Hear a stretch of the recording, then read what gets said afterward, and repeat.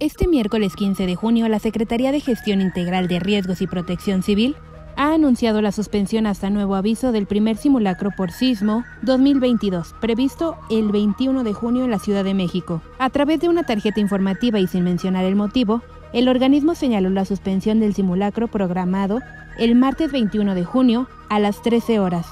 Asimismo, detalló que el próximo lunes 19 de septiembre, la Ciudad de México participará en el simulacro nacional conmemorativo por los sismos de 1985 y 2017. El comunicado reiteró la invitación a la población a participar en el simulacro cuando se tenga una nueva fecha programada, a seguir las medidas de prevención de riesgos en caso de sismo, así como mantenerse informados mediante las fuentes oficiales.